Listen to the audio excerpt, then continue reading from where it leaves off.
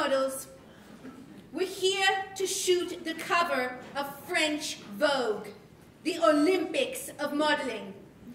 The magazine has asked me to coach you because I have shot this cover 10 times. So I will be extremely tough, I will be brutally honest, I might be cruel. but I will not use chemical weapons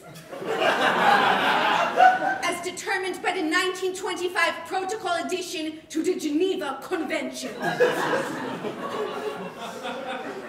Let's begin.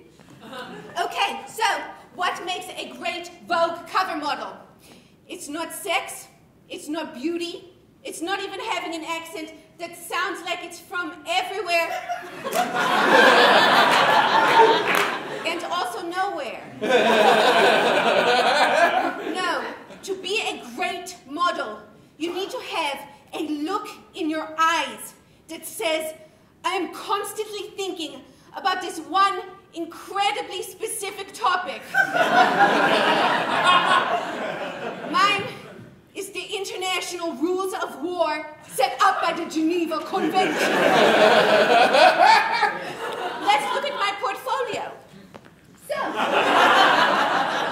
models, this photo is so good because I'm thinking, how did they get war criminals to The Hague? They're criminals. They're not going to want to Hague. In the next photo, I'm thinking about restrictions on burying enemy corpses. okay,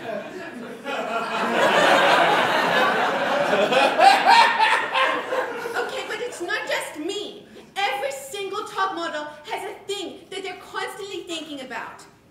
For example, I'm thinking about releasing prisoners of war. And Naomi is thinking about if Dumbledore being gay is actually a victory for the queer community. if it wasn't represented in the original text.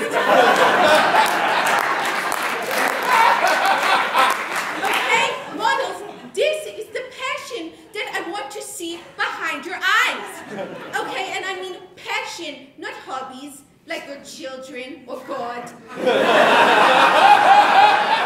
but real passion, like Kate Moss is thinking about ultralight through hiking. Tyra is thinking about ethically sourced yarn.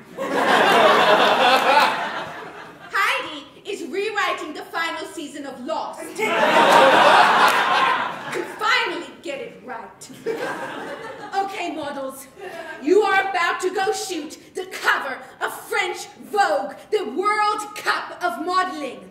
So you've learned a lot. Now I want to see how are you going to pose. Okay, this is interesting. I can see that there's passion behind your eyes. So I want you to tell me what is the incredibly specific topic that you're thinking about? Nothing. Clearly. I want you to think about North American bees. and you, you gorgeous, sexy model. I can see you're thinking something. What is it? The Geneva Convention.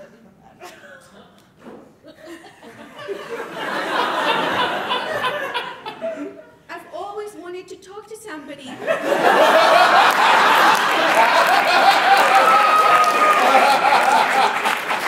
Who's also into the Geneva Convention. What's your favorite article in subsection? okay, models. I've taught you everything I know. It's time for you to go out there and shoot the cover of French Vogue, the Geneva Convention of Modeling. and listen, if all else fails, just act like a sexy baby.